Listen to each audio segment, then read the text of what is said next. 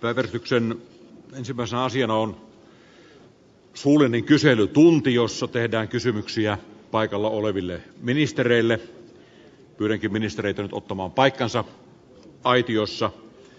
Ja puolestaan pyydän edustajia jotka tahtovat tehdä kysymyksen ministereille ilmoittautumaan p painikkeella seisomaan ei tarvitse nousta p painike tällä kertaa tähän riittää.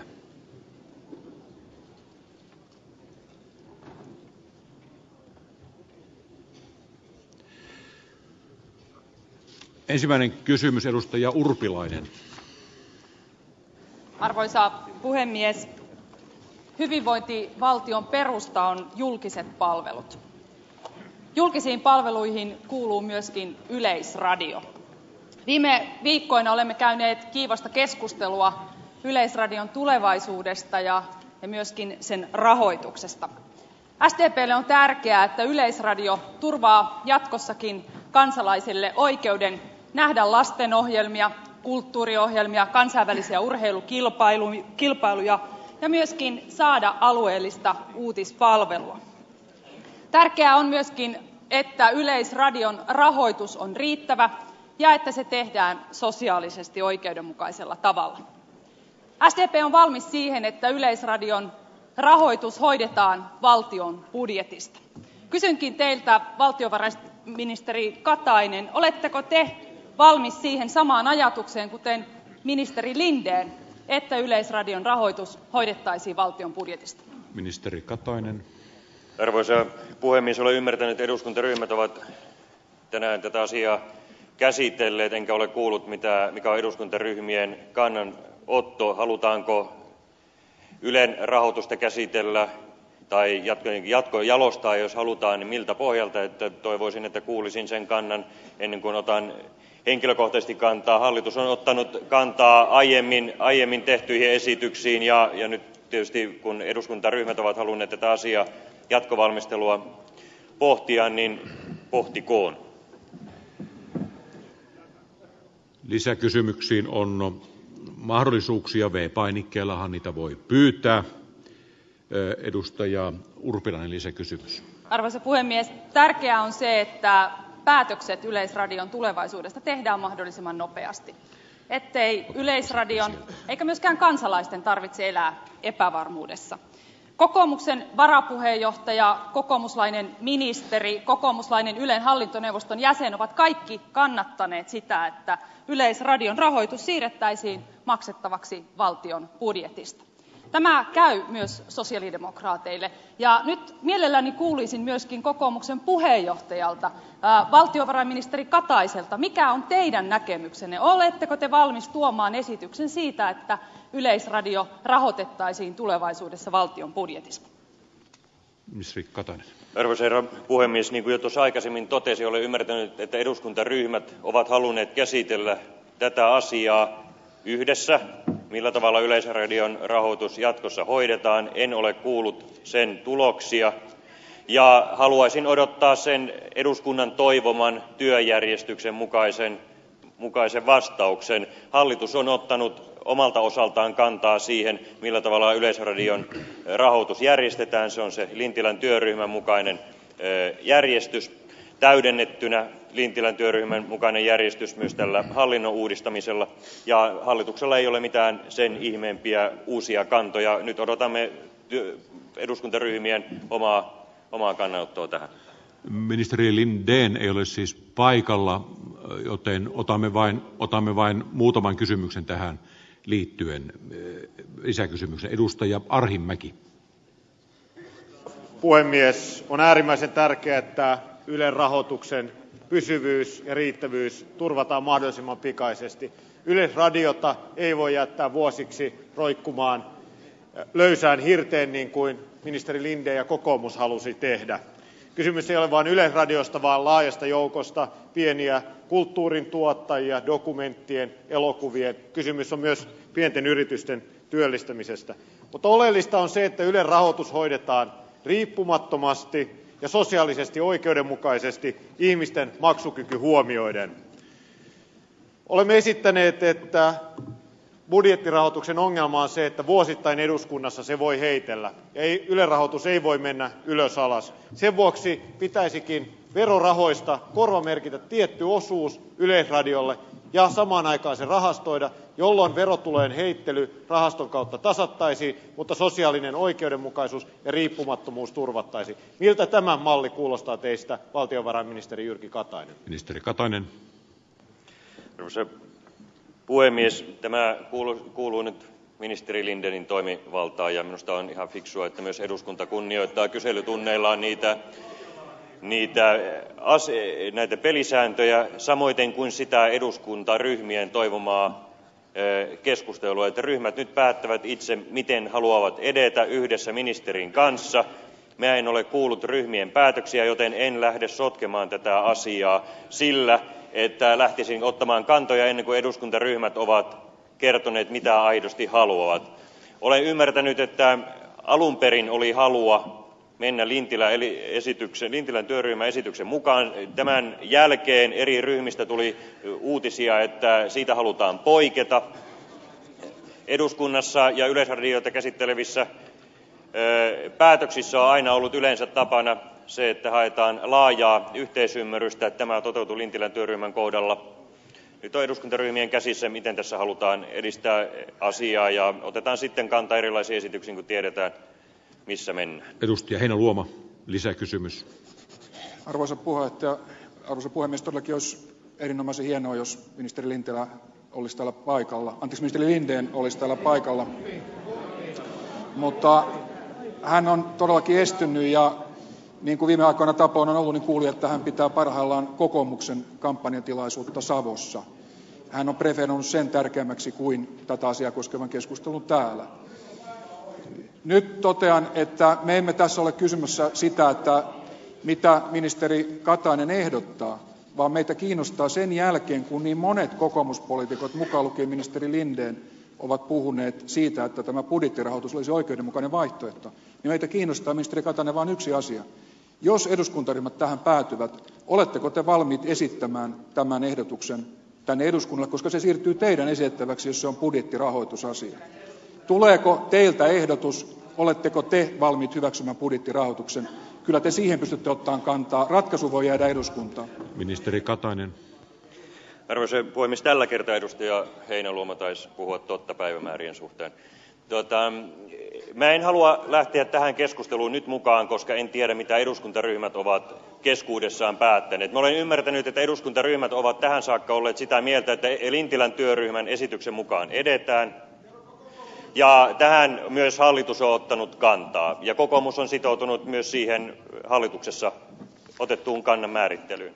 Sillä poikkeuksella että siinä on koko hallituksen mukaan tärkeä medianeuvosto mukana ja jos johonkin muuhun ratkaisuun päädytään niin sitten otetaan niihin kantaa mutta minä en lähde nyt ennakoimaan koska en tiedä mitä eri eduskuntaryhmät ovat omissa ryhmäkokouksissaan kannattaneet niin en lähde etukäteen ottamaan kantaa tähän asiaan. Lisäkysymys edustaja jääskeläinen. Ylen maksun pitää olla oikeudenmukainen. Mistä köyhät maksaisivat tuon ylen maksun nämä mediamaksuthan ovat periaatteessa kaikista pienituloisimmilla jopa puolet kuukausituloista. Ainut oikeudenmukainen ratkaisu myös köyhimpien kannalta on valtion budjettiperusteinen rahoitus mikä on ministerin näkemys mahdollisimman oikeudenmukaisesta ratkaisusta myös pienituloiset huomioon ottavasta ratkaisusta. Ministeri katainen. Oikeudenmukaisuus on hirveän vaikea toteuttaa oikeastaan millään keinolla sen takia että jos siihen oikeudenmukaisuuteen vielä liitetään se kuka käyttää ylen palveluja. Tähän mennessä on riittänyt se jos käyttää ylen tv palveluja mutta sehän ei ole enää tätä päivää. Yle tuottaa sisältöjä sekä internetiin että radioon. Jos ei koskaan kuuntele radiota ei käytä internetiä ei käytä tvtä niin silloin olisi tietysti oikeudenmukaisuutta olla poissa maksamasta yle maksua tai maksamasta veroja mutta onko se sitten semmoinen järjestelmä ei ole edes mahdollista luoda? Toisaalta me pyydämme ihmisiltä veroja hyvin monenlaisiin tarpeisiin vaikka jokainen meistä ei aina käyttäisi niitä palveluja eli lienee oikeudenmukaisinta se että me päätämme että tässä maassa yleisradiota tarvitaan joka tuottaa sisältöjä erityisesti sellaisia sisältöjä joita kaupallisesti ei ole saatavissa. Ja siihen peritään sitten joko maksu suoraan tai sitten verojen kautta. Lintilän työryhmässä on päädytty tähän maksuperustaiseen ja se on minusta käsittelyn pohjana hyvä. Lisäkysymys edustaja laukkanen on hyvä kuitenkin nyt muistaa että puhdas budjettirahoitus on julkisen palvelun toiminnan rahoituksessa otettu käyttöön vain luxemburgissa ja vatikaanissa. Eli pääosahan eurooppalaisesta yleisradiotoiminnasta rahoitetaan joko meidän kaltaisella tv maksulla tai sitten mainosrahoituksen ja tv maksun yhdistämisellä. Eli pitää nyt hyvin huolella miettiä todellakin minkälainen uudistus tässä otetaan. Meillä oli arvoisa hallitus yksimielinen kanta niin sanotussa lintilän työryhmässä mutta ministeri linden omalla avauksellaan rikkoo sen yksituumaisuuden. Ja se oli valitettavaa todella valitettavaa. Ja nyt jos luullaan että budjettirahoitus on ilmainen tavallaan sitten kaikille jos otetaan tulorahoituksessa on arvioitu että se tarkoittaa tuloveroasteikon nostoa noin nolla pilkku viidellä prosentilla tuloluokassa. Ja alimman luokan tulonsaajille se merkitsee jo yli sadankymmenen euron veronkorotusta eihän tämä ole myöskään ilmainen malli ministeri katainen että ehkä voisitte tätä veropuolta arvioida. Ja nyt kun ministeri hyssälä on paikalla tähän tarvitaan se niin sanottu sosiaalinen kompensaatio köyhempien kansalaisten osalta. Minkälaisia malleja teidän ministeriössänne tämän sosiaalisen kompensaation osalta on kehitetty? Työryhmähän istui toimeksianto loppuu maaliskuun lopussa ja se on käsitellyt runsaasti erilaisia malleja ja työ on erittäin haasteellista löytää sellainen malli joka olisi oikeudenmukainen ja huomioisi kaikki vähävaraiset ja köyhät. Mutta toisaalta täytyy sanoa että ei nykyinenkään sosiaaliturvajärjestelmä ole aukoton että aina tulee väliinputoajia ja niitä joita ei ehkä kohdella järjestelmän taholta oikeudenmukaisesti niin että järjestelmä ei tunnista näitä. Ja työryhmä tulee esittämään omia vaihtoehtojaan joista sitten täytyy käydä läpi. Mutta se että me tiedämme jo nyt että köyhien ryhmissä ei kaikki ole yhtä köyhiä. Eli esimerkiksi yksinhuoltajat niin siellä on monia sellaisia jotka ovat varmasti tuen tarpeessa mutta eivät kaikki. Ja se että me löytäisimme järjestelmän joka tunnistaisi kaikki nämä niin on byrokraattinen ja kallis että tässä on haastetta kerrakseen. tässä tuli hyviä esimerkkejä siitä miten kompensointi on aika hankalaa. Varsinkin jos on moraalisia syitä olla käyttämättä jotakin mediaa tai on sitten vammautunut niin ettei voi käyttää nämä ihmiset eivät välttämättä ole tulojen perusteella pienituloisia joille kompensaatiota mutta tässä mallissa ei varmasti tai tässä järjestelmässä ei varmasti ole mahdollisuutta päästä täydellisyyteen. Se vaan pitää hyväksyä jos me haluamme yleisradion suomessa säilyttää niin kuin haluamme laukkanen omassa puheenvuorossaan mainitsi yhden syyn eli tuloverotuksen nostotarpeen mikäli tämä asia rahoitetaan budjetista. Tämä on yksi haittapuoli budjettirahoituksesta. Toinen haittapuoli on se että voidaan perustellusti kysyä onko yle täysin riippumaton poliittisesta päätöksenteosta mikäli se on budjettirahoitteinen. Tämän takia muun muassa lintilän työryhmä päätyi nimenomaan tähän mediamaksuun jota myös hallitus on kannattanut ja silloin sillä täytyy olla myös joku rajoite. Jos annetaan veroluontoinen maksu niin täytyy olla joku ulkopuolinen taho kuin yle itse joka arvioi julkisen palvelun tehtävää vaikka sillä ei olisi päätösvaltaa mutta sillä olisi tämmöistä julkisen palvelun laajuutta arvioiva ja analysoiva tehtävä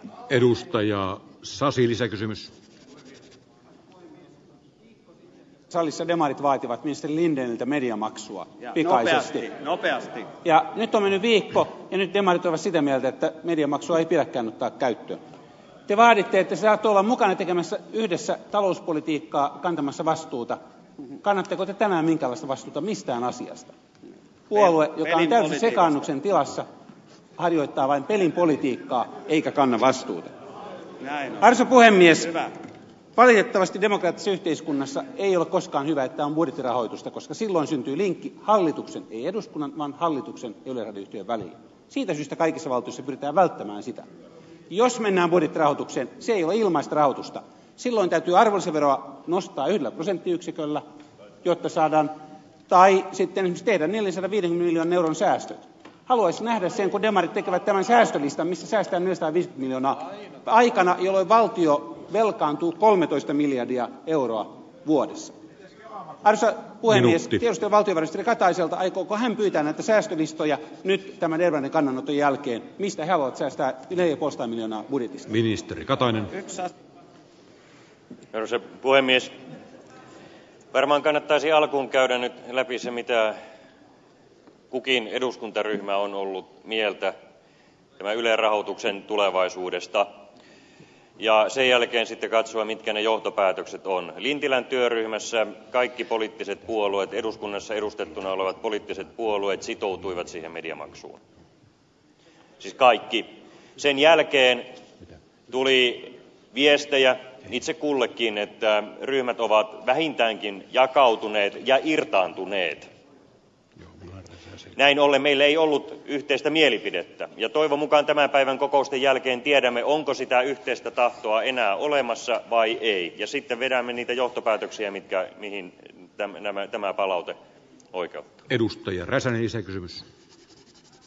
Herra puhemies on hyvin vaikea ottaa kantaa tähän mediamaksuesitykseen kun eduskunnalle ei ole kerrottu minkälaisia nämä mahdolliset kompensaatiomallit olisivat. Ja olen kyllä pettynyt ministeri hyssälän vastaukseen tässä edustaja laukkaselle kun te kuitenkin viime viikolla tulitte esiin sillä että on olemassa näitä kompensaatiokeinoja. Ja nyt toivoisin että kertoisitte edes yhden mallin millä tavalla tämä mediamaksun epäoikeudenmukaisuus voitaisiin kompensoida? Tulisiko se jollain tavalla tuloista riippuvaiseksi esimerkiksi?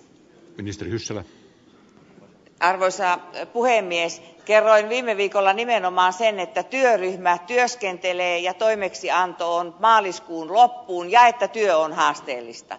me jokainen tiedämme niin edustaja räsänen jonka tuntemus sosiaaliturvasta on erittäin laajaa niin tiedämme että köyhyys ei mene ryhmittäin vaan ryhmien sisällä. Ja millä tavalla tunnistamme ne että se olisi vähän byrokraattista ja oikeudenmukaista on äärettömän haasteellista.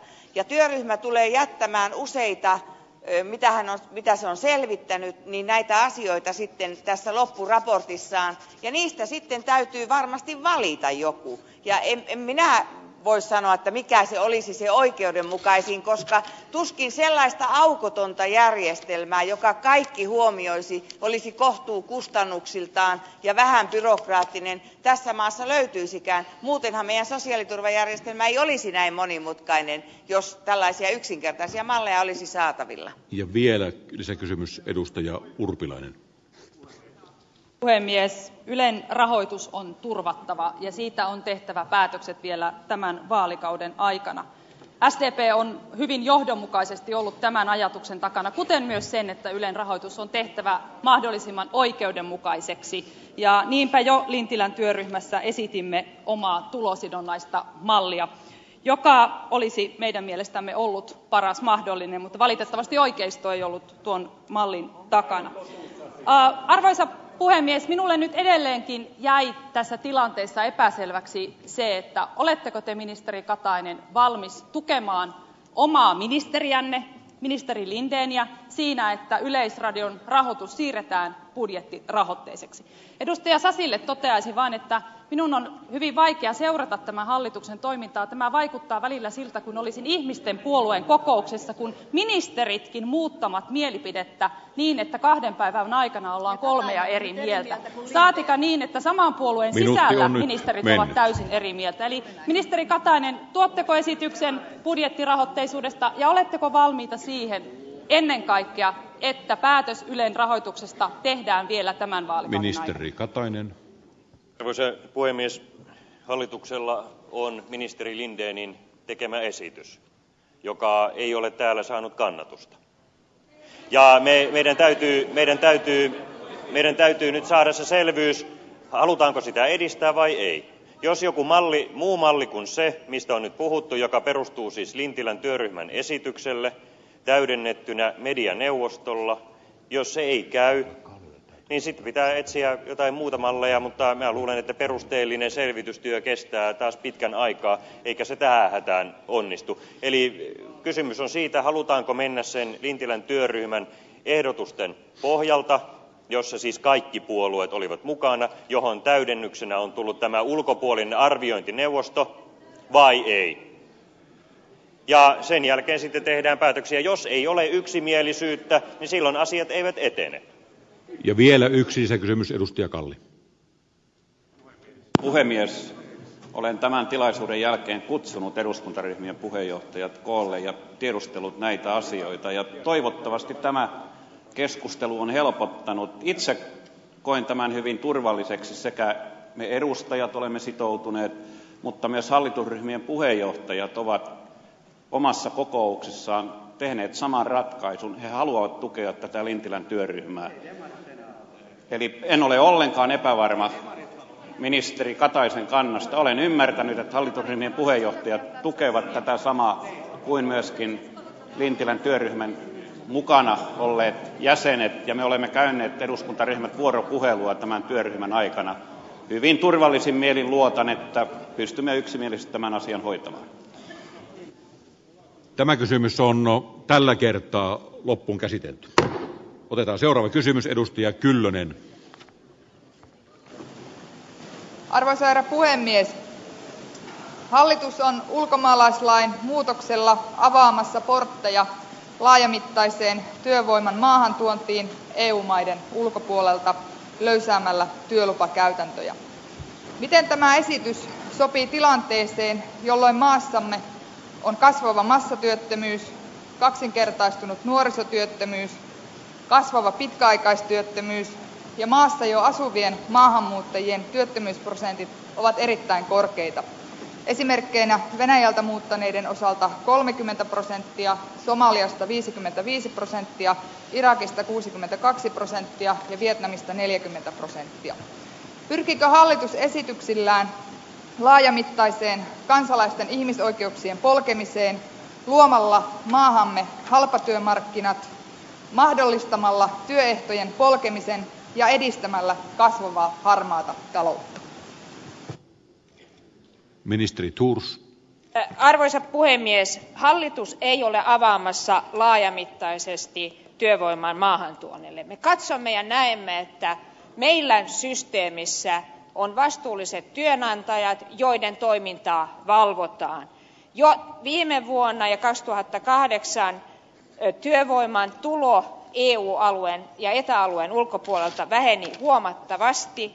Ja tämä esitys joka nyt käsitellään eduskunnassa lähtee siitä että työvoiman ehtoja valvotaan jopa tehokkaammin kuin tällä hetkellä on mahdollista. Siirrytään saatavuusharkinnasta siihen että pystytään työehtoja valvomaan.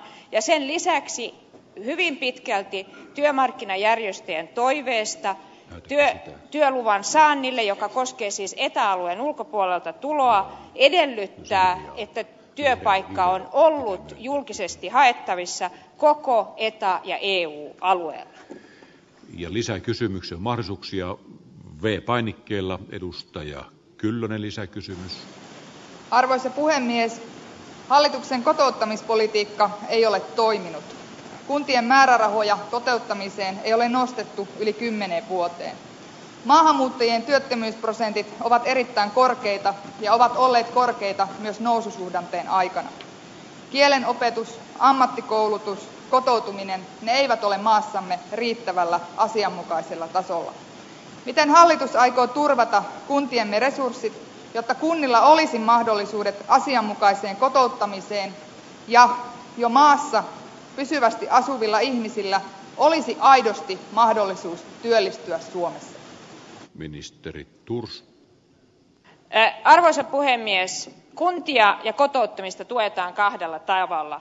Toisaalta työ ja elinkeinoministeriön budjetin alla on varoja joita käytetään varsinaiseen kotouttamispolitiikkaan ja nykyään on varattu näihin toimenpiteisiin kolmekymmentäneljä miljoonaa eli joka vuosi se on noussut.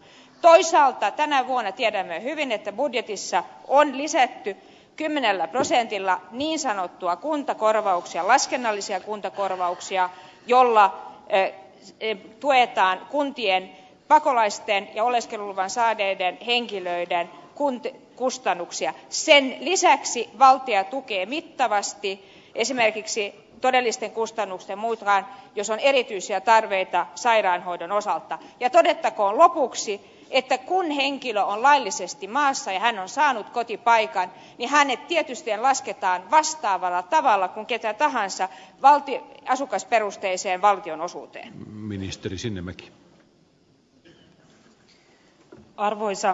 Puhemies, niinä vuosina jolloin työllisyys kehittyi myönteisesti ja työttömyys laski niin niiden vuosien osalta voimme olla kohtuullisen tyytyväisiä siihen että tänne muualta tulleiden osalta kehitys oli samankaltainen eli työllisyysaste nousi ja työttömyys väheni. taantuman oloissa kehitys taas on ollut sinänsä samanlaista kuin muullakin väestöllä eli työttömyys on noussut ja työllisyys laskenut. valtion ja pääkaupunkiseudun kuntien osalta on tämän vuoden alusta lähtien rahoitettu erillistä aiesopimusta johon sekä työ ja elinkeinoministeriö että sisäministeriö että pääkaupunkiseudun kunnat ovat sitoutuneet omalla rahoitusosuudellaan kehittämään ja parantamaan sitä koulutusta ja niitä polkuja työpaikoille joita maahanmuuttajille tarvitaan. toivottavasti osaltaan tästä työstä ja sen käytännöistä tulee sellaisia hyviä esimerkkejä joita jatkossa voidaan ottaa käyttöön myös muualla maassa. Edustaja Rajamäki lisäkysymys on todella edesvastuutonta että hallitusohjelman mukaisesti jota thors toteuttaa puretaan työvoiman saatavuusharkintaa eli kuka tahansa voi tuoda mille alueelle tahansa ja mille alalle tahansa ulkomaista työvoimaa vaikka on kotimaassa työttömiä ja nuoria koulutettavana. tämä on kyllä erittäin vakava pyrkimys luoda halpatyömarkkinoita ja heikentää myös sisäistä turvallisuutta. itse asiassa työehtojen valvontaa on heikennetty koko ajan ja myöskin krphen kaksituhattaneljä vuoden alusta perustettu ulkomaisen laittoman työvoiman valvontayksikkö lakkautettiin. toisin kuin thors te kerrotte niin hallitus heikentää koko ajan nimenomaan työehtojen valvontaa ja laittoman ulkomaisen työvoiman valvontaa. tämä on minusta edesvastuutonta tässä vakavassa nuorisotyöttömyyden tilanteessa. ministeri thors. arvoisa puhemies ehkä kymmenennen kerran me kuulemme entisen ministeri rajamäen kertovan tästä krpn valvontayksiköstä joka on lakkautettu mutta työt on krpssä niin kuin ministeri holmlund monta kertaa on todennut järjestetty toisella tavalla. sen lisäksi on äskettäin hyväksytty säännöt joilla esimerkiksi verotietojen saatavuus eri viranomaisten välillä on todella parantunut. on tärkeää että tehdään sitä hyvää yhteistyötä työviranomaisten veroviranomaisten ja maahanmuuttoviranomaisten kesken jolla saadaan tarkempi ja hyvä kuva siitä kuka on luotettava työnantaja ja kuka ei ole. Ja tähän esimerkiksi aiotaan kiinnittää nimenomaan enemmän huomiota koska saatavuusharkinta on tälläkin kaudella ollut hyvin muodollista kun sen sijaan olisi erittäin tärkeää että voidaan saada tietää kuka toimii säännösten mukaan kuka ei. ministeri hyssälä. arvoisa herra puhemies meillähän työsuojelupiirit ovat tehostaneet nimenomaan ulkomaisen työvoiman valvontaa ja meillä on näitä alihankkija työvoimaa ja muuta niin kuin tiedetään rakennusalalla ravintola alalla ja muuta niin on paljon saatu myöskin tällä aikaan että tätä valvontaa on tehostettu. Ja työsuojelupiirit ovat vielä erikoistuneet siihen että siellä on koulutettu henkilökuntaa nimenomaan tähän kansainväliseen tilanteeseen ja ulkomaisen työvoiman työehtojen tarkistuksiin tässä kyllä ollaan työsuojelupiireissä hereillä. Edustaja Lapintie, lisäkysymys. Herra puhemies, tänne Suomeen muuttavien maahanmuuttajien tai siirtolaisten osalta on hyvin tärkeää että heitä kohtaan on samat velvollisuudet mutta myös samat oikeudet kuin meillä suomalaisilla jotka olemme syntyneet täällä. olisin kuitenkin kysynyt hallitukselta tätä kun myös nämä samat velvollisuudet oikeudet ja velvollisuudet pitäisi koskea myös niitä jotka suhtautuvat hyvin kriittisesti maahanmuuttoon. ja nyt uutena aika uutena ilmiönä on tullut esille se että hallituksen ministereitä on uhkailtu internetissä ja vieläpä tutkijoita jotka puolueettomasti tutkivat asioita ja kertovat mielipiteitään heitäkin on uhkailtu ja sehän kohdistuu hyvin rajusti sananvapauteen ja pohjimmaisiin arvoihin joita meidän demokratiaamme kuuluvat. Ja kysyisinkin nyt hallitukselta että miten aiotte suhtautua tähän hyvin vakavaan ilmiöön ja yleensä tähän netissä Minuutti. tapahtuvaan uhkailuun? Edustaja, ministeri Thors. arvoisa puhemies tällaiseen uhkailuun on suhtauduttava vakavasti. Tällainen uhkailu ei minun toimestani ole saatettu julkisuuteen vaan tiedotusvälineet ovat saattaneet sen julkisuuteen ja tietysti se on julkista jos päälle sata henkilöä on liittynyt niin sanottuun facebook sivustoon. sikäli on, tämä ehkä on jäävuoren huippua ja keskustelun puitteissa on tullut esiin että jokainen joka haluaa keskustella maahanmuutosta monisävyisesti heitä on uhkailtu. Olen vakuuttunut siitä että koko hallitus suhtautuu tähän uhkailuun vakavasti koska se koskettaa nimenomaan kuten te sanoitte sananvapautta ihmisten halua osallistua keskusteluun ja tällaiset piirteet jotka ovat tulleet esille esimerkiksi tutkijoiden toimesta ovat erittäin huolestuttavia. on hyvä että me keskustelemme muun muassa ministeri braxin esityksestä miten tiukentaa säännöksiä jotka koskevat viharikoksia. Ministeri Brax. Arvoisa herra puhemies, niin kuin ministeri Tuus kertoi, lausuntokierroksella on parhaillaan hallituksen esitys muun muassa rasististen rikosten koventamisesta. Ja sitten mitä tulee näihin uhkauksiin ja niissä yleisen syytteen alaisuuteen, niin saattaa olla väärää tietoa liikkeellä nyt. Se on asianomistajarikos silloin, kun ei ole erityisen painavia syitä, jolloin se muuttuu yleisen syytteen alaiseksi. Esimerkiksi silloin, kun keskeisiä poliittisia toimi, toimijoita tai julkisessa elämässä eläviä, kuten kansanedustajia, uhataan, niin on ihan selvää, että, että silloin valtakunnan syyttäjän ohjeilla voidaan vielä tehdä selvemmäksi ja tullaankin kun uusi syyttäjä astuu toimeensa niin tekemään selväksi että tämänkaltaiset vakavat uhkaukset ovat yleisen syytteen alaisena. Ja arvoisa edustaja olin tulossa juuri tutkijoihin silloin jos on kysymys siitä että ihminen tekee vapaata sivistyksellistä koko yhteiskuntaa hyödyttävää työtä niin silloin täytyy katsoa myös tältä osin se valtakunnan syyttäjän ohje. mutta tässä myös lausuntokierroksella olevassa esityksessä erikseen korostetaan myös tieteen vapautta näissä kysymyksissä. Edustaja Gustafsson, lisäkysymys. Mies, sosiaalidemokraatit tuomitsevat kyllä kaikenlaisen uhkailun, joka liittyy maahanmuuttoasioiden parissa työskentelevien ihmisten suhteen. Mutta puhemies, kun hallitus teki hallitusohjelman kolme vuotta sitten, maassa oli tilanne vallan toinen. Nyt on yli 300 000 työtöntä, 85 000 ihmistä lomautettuna. Ja hallitus on tuonut toisista lähtökohdista syntyneen esityksen tänne luopumalla saatavuusharkinnasta. Nyt on arvioitu alueellisesti, mikä on työvoiman tarve. Nyt se ollaan keskittämässä maahanmuuttovirastoon. Millä edellytyksillä he voivat arvioida työvoiman tarvetta alueellisesti paikkakunnittain? Musta on suoraan sanoen epäisänmaallista toimintaa suomalaisia työttömiä ja lomautettuja kohtaan. Arvoisa puhemies, minusta ministeri Thors, nyt olisi harkittava vielä sitä, että vetäisitte tämän esityksen pois. Me kerkeämme hyvin tekemään uutta työvoimaperäiseen maahanmuuttoon liittyviä uudistuksia, mutta ei tämä hetki ole se oikea. Ministeri Thors.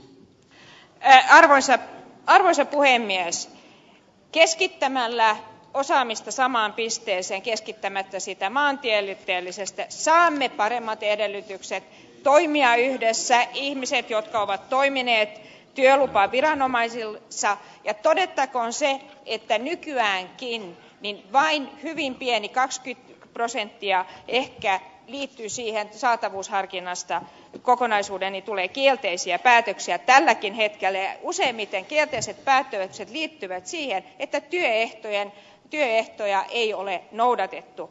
Todettakoon myöskin että vastaavia systeemejä on saatettu muualla pohjoismaissa voimaan ja on toiminut hyvin että silloin saadaan sellaisia erityisosaajia joita ei muuten olisi saanut.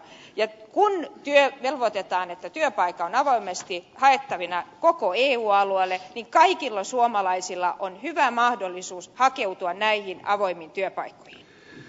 Ja vielä edustaja Salolainen, lisäkysymys meillä on tällä hetkellä suomessa tiettävästi noin viisituhatta laitonta maahanmuuttajaa. Ja meillä olisi kahdeksantuhatta laitonta maahanmuuttajaa elleivät meidän viranomaiset poliisit ja viisumien antajat ja muut ulkoasiainhallinnossa olisi pekingin ja pietarin lähetystöissä tutkineet näitä keissejä ja todenneet että nämä eivät ole kelvollisia maahanmuuttajia suomeen. Suomen paras investointi tällä hetkellä on sijoittaa lisää näitä poliiseja ja viranomaisia ulkomaille koska hyötysuhde on yhden suhde kymmeneen. Toisin sanoen säästetään kymmenen euroa kun sijoitetaan yksi euro näihin virkamiehiin jotka tutkivat näitä keissejä.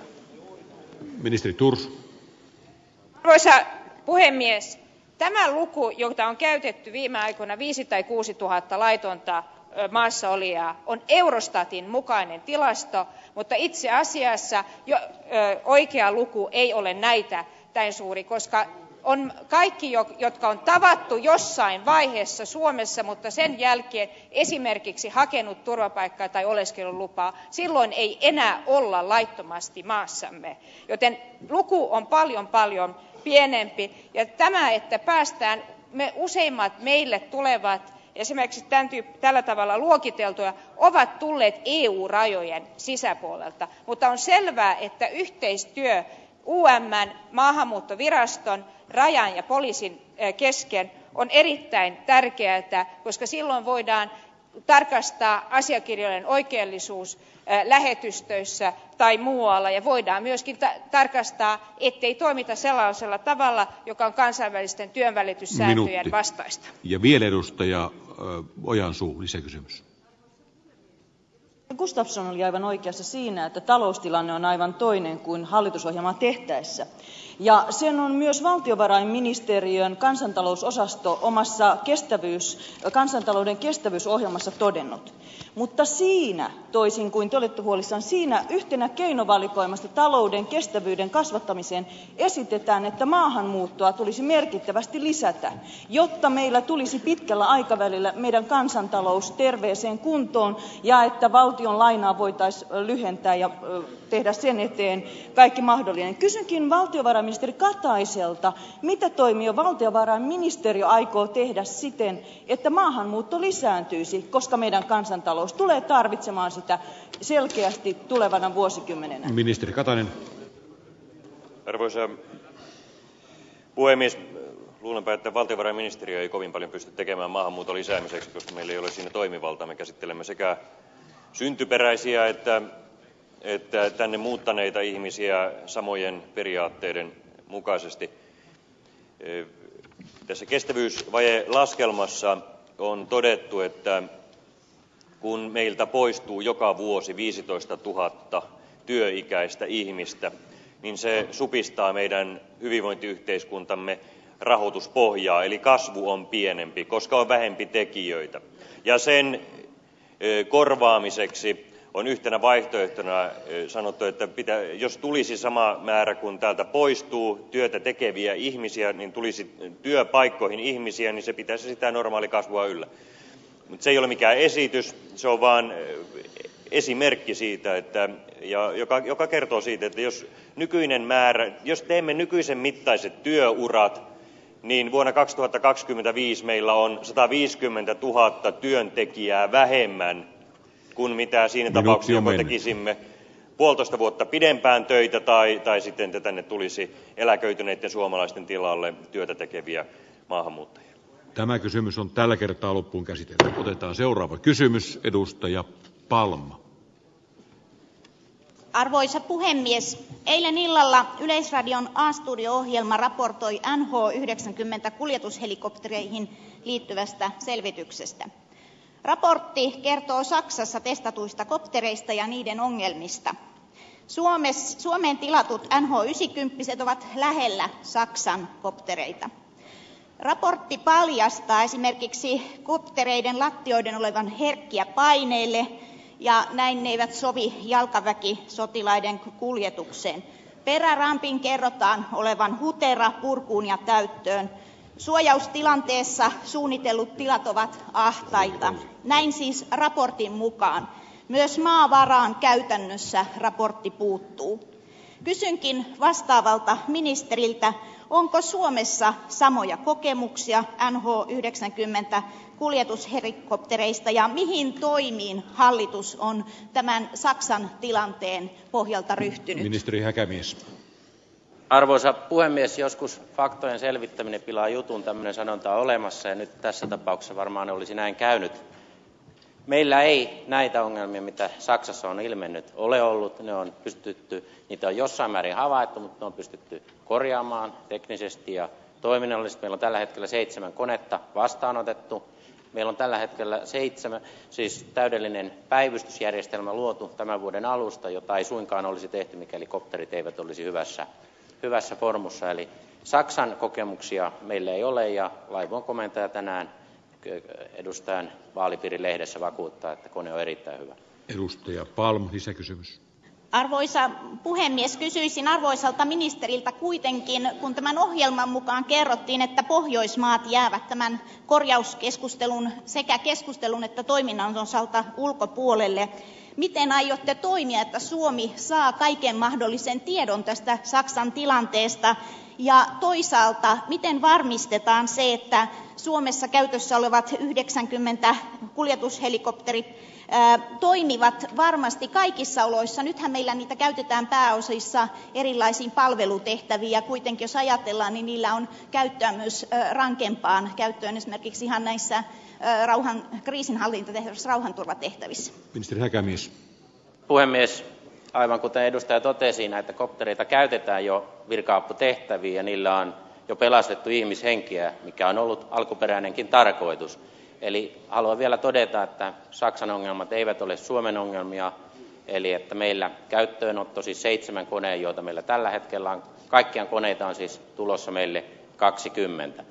Koneen tilanneilla mailla on myöskin tämmöinen users club eli käyttäjien kerho jossa tietoa vaihdetaan niin lentäjien kesken kuin sitten, tuota huollon osalta. Ja olen aika luottavainen, luottavainen myöskin tämän jatkoprosessin osalta kysymys on tällä kertaa loppuun käsitelty. Otetaan seuraava kysymys edustaja vistbacka. Puhemies eduskuntaan tuli viime vuoden elokuussa hallituksen esitys laiksi pellon luovutusvoiton määräaikaisesta verovapaudesta vuosina kaksituhatta yhdeksän kaksituhatta kymmenen tehdyissä kaupoissa. Tarkoituksena oli suomen maatalouden tilarakenteen kehittämistarpeet.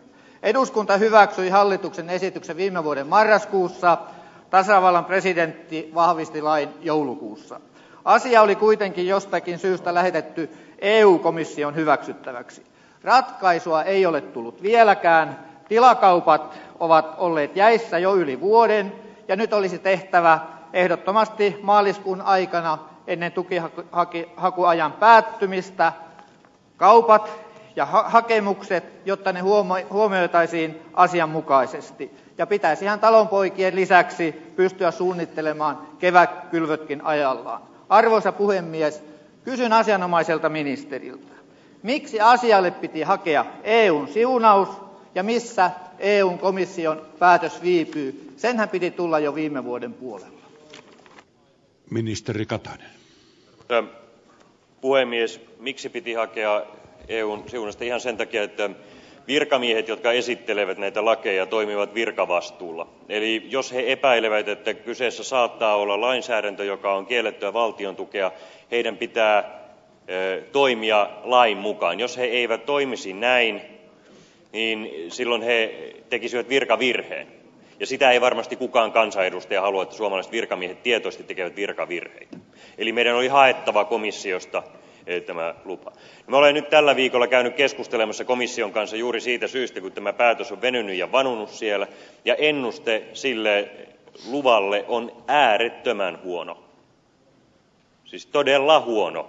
Ja nyt on siis semmoinen tilanne että meidän pitää hallituksessa tehdä tämä on tapahtunut tämä kommunikaatio komission kanssa kun olin brysselissä alkuviikolta meidän pitää hallituksessa tehdä nyt päätös jossa tämä asia tehdään suomalaisille kansalaisille selväksi niin että kaupat voivat jatkua eikä, eikä, eikä maan myynti ole pysähdyksissä. Edustaja Vistbakka, lisäkysymys. Arvoisa herra puhemies, ministeri Katainen ilmoitti jo tammikuun puolessa välissä, että mikäli ei nopeasti tule tätä suostumusta, EUn suostumusta, niin hän lähtee henkilökohtaisesti käymään siellä, mutta aika myöhään se meni, jos se on maaliskuun puolenvälin paikkeilla. Arvoisa puhemies, olisin kysynyt maa- ja metsätalousministeriltä, mitä mieltä te olette tästä menettelystä? Kyse on ollut määräaikaisesta laista, verolaista, ja miten käy nyt tukihakemusten, onko mahdollista sitä määräaikaa pidentää, jos EUsta tämä siunaus tulisi? Ministeri Anttila. Arvoisa puhemies, ihan niin kuin valtiovarainministeri Katainen totesi, niin ennuste on todella huono. Ja siinä mielessä on nyt tärkeää, että tehdään ihan lähipäivinä päätös siitä, miten tästä eteenpäin menetellään. Itse ainakaan en pidä enää järkevänä, että sitä siellä pidetään sisällä. Nyt meidän pitää tehdä ratkaisu siltä pohjalta, että tämä asia ei siellä näin etene. Ja siinä yksi ongelma on se, että tämä ei koske kaikkia. Tämä on tietyllä tavalla valikoiva ja, ja se on ollut ainakin yksi syy, joka on meidän virkamiesten kanssa käydyissä neuvotteluissa siellä tullut selkeästi esille. Eli tärkeintä on se, että viljelijät tietää, miten ensi viikolla menetellään. Kysymys on tällä kertaa loppuun käsitelty. Seuraava kysymys, edustaja Kalli. Puhemies, Suomi on antanut sitoumuksen EUlle lisätä uusiutuvan energian osuutta noin 10 prosenttia, joka tekee noin 30 terawattituntia. Äskettäin kuitenkin merkittävät teollisuusjohtajat ja myös oppositioryhmän puheenjohtaja esittivät kannanottoja, että näistä hankkeista pitäisi luopua. Ne tulevat liian kalliiksi tai ovat epäjohdonmukaisia. Kysynkin hallituksen vastaavilta ministereiltä, ministeri Pekkariselta ja valtiovarainministeri Kataiselta, pitääkö Suomi kiinni edelleen niistä velvoitteista ja oletteko etsimässä sellaisia tukijärjestelmiä, että me pääsemme niihin sitoumuksiin, mitä, mitä Suomi on tehnyt, erityisesti tuulen, biokaasun ja puun osalta? Ministeri Katainen. Arvoisa puhemies, Suomi pitää kiinni näistä velvoitteistaan. Se on ympäristön, ilmaston kannalta aivan olennainen kysymys. Nämä velvoitteet eivät ole mitään keksittyjä EUlle annettuja sitoumuksia, vaan sitoumus on tuleville sukupolville. Ja sen takia meidän on lisättävä uusiutuvaa energiaa, etsittävä ne kustannustehokkaimmat keinot. Jos me emme löydä kustannustehokkaimpia keinoja, se tarkoittaa sitä, että suomalainen maksaa turhasta. Eli me tarvitsemme kustannustehokkaimmat keinot ja sen lisäksi tietysti sitten lisää perusvoimaa riittävästi, jotta voimme korvata hiilen ja Venäjän tuonnin. Ja, ja perusvoimaratkaisu pitää olla sellainen, että se ei lisää hiilidioksidipäästöjä, eli tässä tapauksessa ydinvoima. Ministeri Pekkarinen. Joo, arvoisa puhemies. Hallitus pitää tiukasti kiinni niistä sitoumuksista, mitä se on antanut Euroopan unionille, niin kuin kaikki muutkin EUn jäsenet ovat luvanneet pitää tiukasti kiinni omista lupauksistaan. Meidän tapauksessa tämä tarkoittaa 30 terawattituntia loppukulutuksesta lisää uusiutuvaa vuoteen 2030 mennessä. Eduskunta hyväksyi yksimielisesti tämän päätöksen.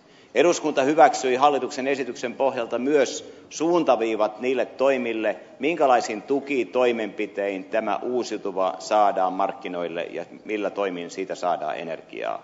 Tuuli ja biokaasu, niille tulee syöttötariffi, esitys on kohta valmis puuenergialle, sen käytölle olemme paraikaa valmistelemassa tukitoimia ja nekin ovat valmiita ihan kohta miten. Uskon, että hallitus saa ihan lähipäivien aikaa hivenen konkreettisemman esityksen siitä, mitkä ovat ne suuntaviivat käytännössä, joista suuntaviivoista eduskunta täällä päätti. Mitä tulee taas oppositioryhmiin, niin vaikka tämä on hallituksen asia, tällaisessa isossa kansallisessa asiassa on erinomainen asia jos myöskin oppositio voi olla samaa mieltä ja olen ollut iloinen että sdpn puheenjohtaja on käyttänyt aivan erinomaisia puheenvuoroja uusiutuvan energian lisäämiseksi mutta sen sijaan eilen kuulin kyllä sitten ryhmänjohtaja heinäluomalta tuollaisen hiilen mustan puheenvuoron.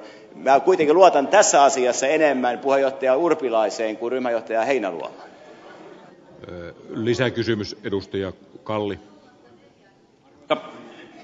Meillähän valikoimassa on ollut hyvä yksi menetelmä nuoren metsän kunnostukseen tarkoitettu raha. nyt maakunnista on kuulunut että tämä raha on loppumassa ja että tämä valikoima olisi, olisi hyvin laaja niin onko hallituksella vahva tahto myös siihen että näitä nuoria metsiä hoidettaisiin ja että nimenomaan näillä nuoren metsän kunnostuksella saataisiin sen kaltaista biopolttoainetta jolla voitaisiin tehdä lämpöä ja sähköä.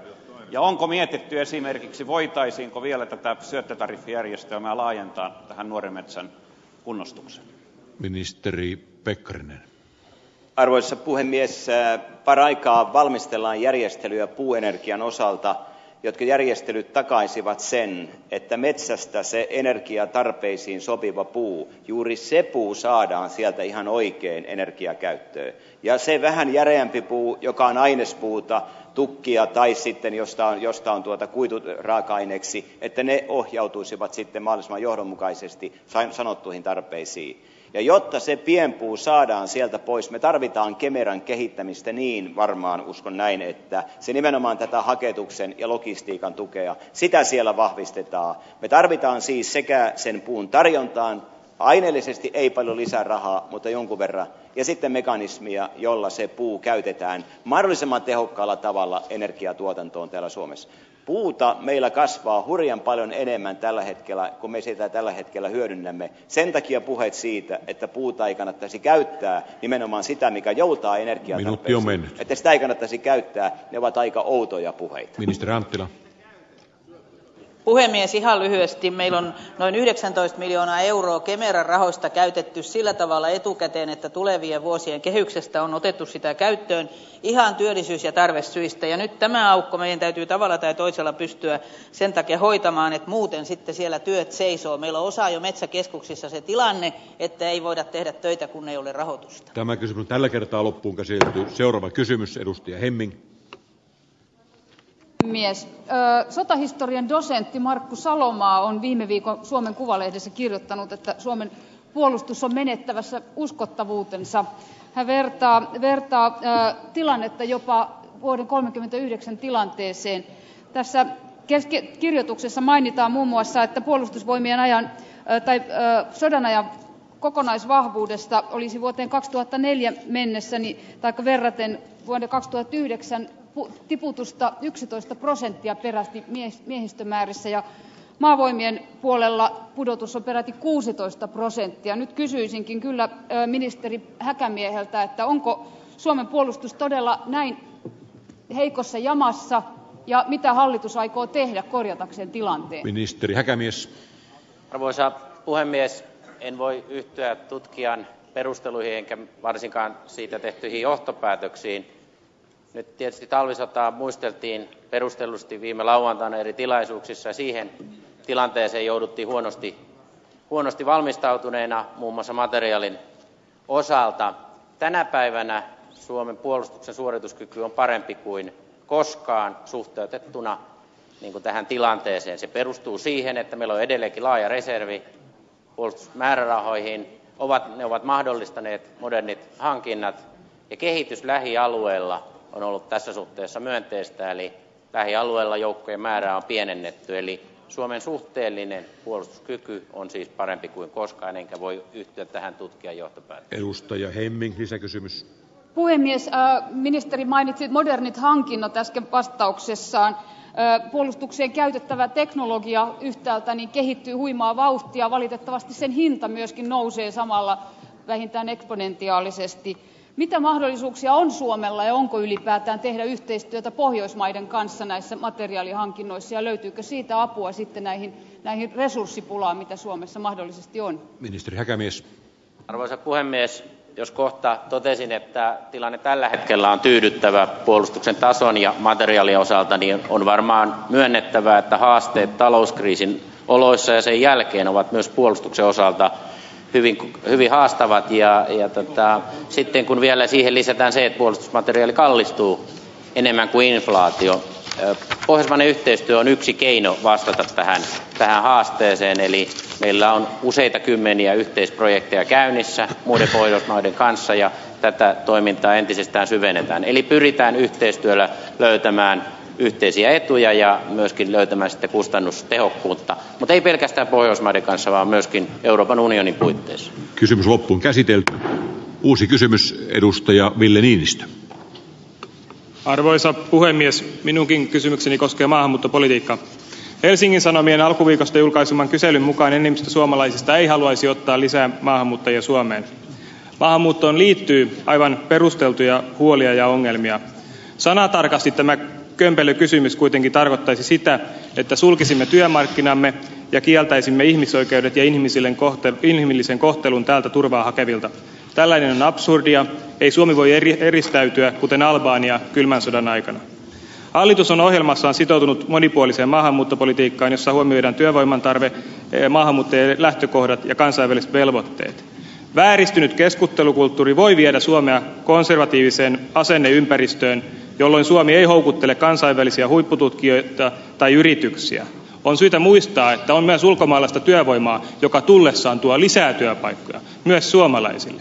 Tällaisille aloille tarvitaan lisää työvoimaa, ei sinne, missä on, on, on suomalaisten kesken työttömyyttä. kuuluttaisinkin hallitukselta Minuutti. oman maltillisen ja järkevän linjan rohkeaa esiintuomista. On uskallettava korostaa, että Suomi on osa kansainvälistä talousympäristöä ja että me sivistysvaltioina kunnioitamme jokaisen ihmisen ihmisoikeuksia. Miten hallitus näkee tämän asian?